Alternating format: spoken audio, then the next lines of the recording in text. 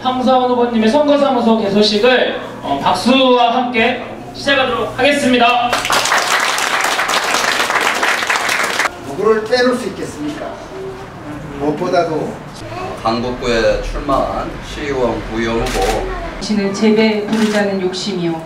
그것을 위해서라면 도둑질도 폭력도 도륙도 못할 것 없는 김주열아. 꽃 같은 아이 죽어 떠오른 소식에 아무도 겁먹지 않았다.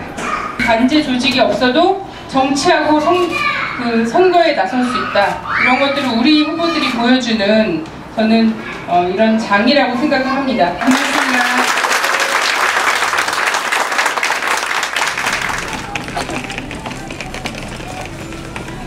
육사 지방선거 통합진보당 강북구 전 지역구 출마 심야 기자회견. 직장인 생활인이 하는 정치. 비가 오나 눈이 오나.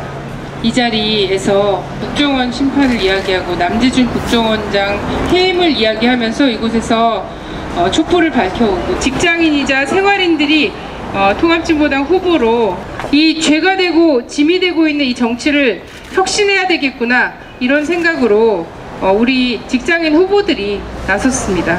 서민이 정치의 주인이 됩시다. 오늘은 제가 나가지만 내일은 여러분이 나가십시오. 우리의 정치는 무엇이 무엇을 했습니까? 근본적으로 묻지 않을 수 없습니다. 국민들의 처지가 다 이러합니다.